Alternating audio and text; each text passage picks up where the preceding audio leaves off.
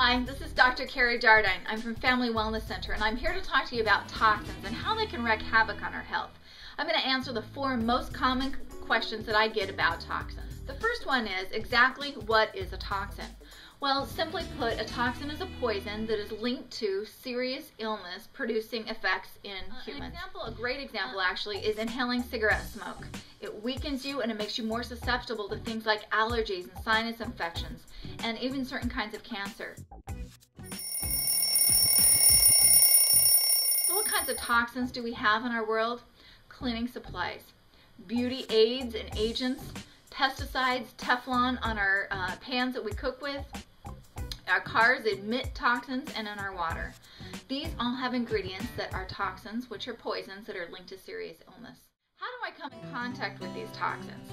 Well, first off, they're everywhere. They're at home and they're at work. A lot of us know they are a toxin, but we still use them because we simply don't know what else to use. Or maybe it's just a habit, or we might just work there. And also, we might just live there. For example, in a big city. We can see the hovering pollution here in St. Louis. Is it any wonder that St. Louis is known for two things, the arch and the allergies? Question number three, which is, how do these toxins affect me? And they're stored in our bodies, in the fat cells. That's the main uh, job of fat, is to hold toxins.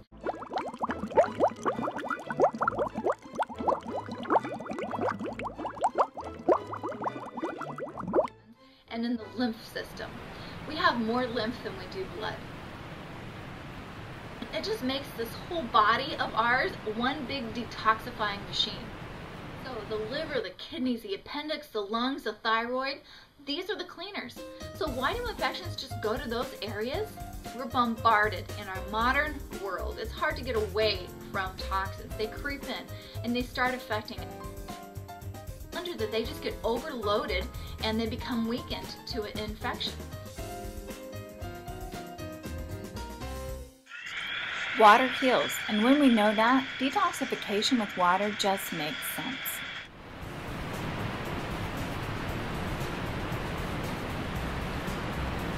So how do you know?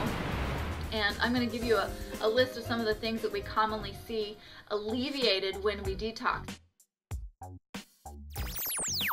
Allergies, sinuses. If you have more sinus infections in a year, we commonly see those reduce headaches, fibromyalgia, and different kinds of pain, hormone imbalancing. Um, you can't lose weight. You have low energy, especially in the morning. The treatments that we have at Family Wellness Center help your body detox better even after the treatment.